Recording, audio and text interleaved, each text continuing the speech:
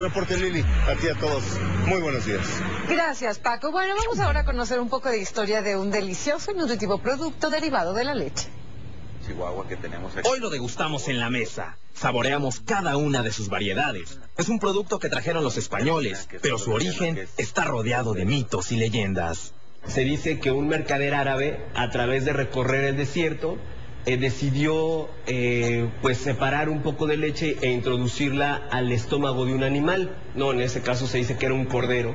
Este hombre se refiere al queso y a su riquísima historia. Una vez que él decidió probar un poco del líquido que él había previamente almacenado en el estómago del animal, se dio cuenta que ese eh, producto ya se había cuajado y que era un producto de una textura y de un sabor muy, muy definido.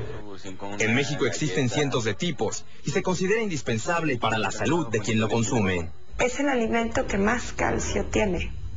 O sea, 100 gramos de queso aportan la mitad del calcio que necesita un adulto diariamente. Cada rincón de nuestro país reserva algún tipo de queso. Es un queso de cabra que al cortar se, se puede desmoronar, no es fácil de cortar. Te queda perfecto. Es un sabor suave pero característico.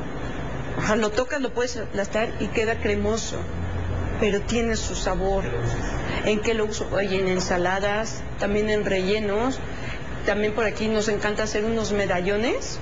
Los sacas y hacemos una mantequilla de queso de cabra. Cada lugar de México tiene un sabor distinto. El queso cocido en Sonora, el menonita en Chihuahua o el delicioso sabor del queso cotija que se produce en Michoacán.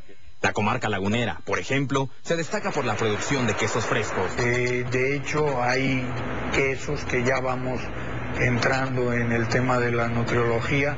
Los nutriólogos ya aconsejan los quesos panela como quesos ricos en proteínas, bajos en grasa y bajos en sodio, lo cual es un alimento muy nutritivo.